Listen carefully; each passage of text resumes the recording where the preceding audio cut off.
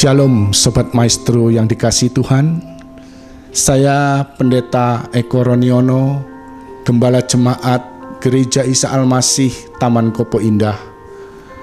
Firman yang sudah saya sampaikan tadi Berbicara tentang kesetiaan Yang merupakan satu komitmen Yang mengikat di dalam kehidupan orang percaya Ukuran kesetiaan bukan lamanya kita mengiring kepada Tuhan Yesus, tetapi justru diukur ketika kondisi yang tidak baik, ketika kita menghadapi tantangan dan masalah dalam kehidupan kita. Di sanalah muncul kesetiaan itu.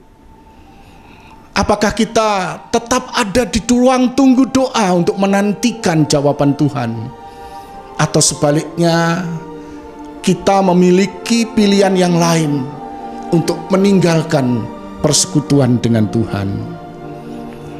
Firman yang sudah kita dengar tadi bersama menunjukkan kualitas rohani dari seorang pelayan Tuhan, seorang rasul yang luar biasa, Paulus sekalipun ada di dalam tantangan yang demikian besar,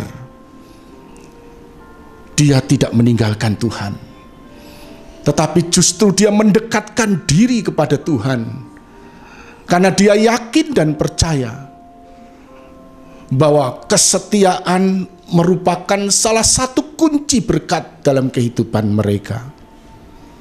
Sobat Maestro, bagaimana dengan keadaan kita saat ini? ketika saudaraku diperhadapkan pada tantangan hidup ini. Mungkin saat ini situasi bisnis saudara lagi menurun. Mungkin saat ini rumah tangga saudara tidak lagi harmonis. Mungkin saat ini saudara menghadapi akan kenakalan anak-anak saudara. Mari kita melihat dan bercermin dari firman Tuhan yang kita sudah dengar bersama. Tetap setialah di dalam mengiring kepada Tuhan dalam bentuk apa pun segala situasi dan tantangan. Karena Tuhan menghargai komitmenmu ketika engkau setia mengiring kepada Tuhan.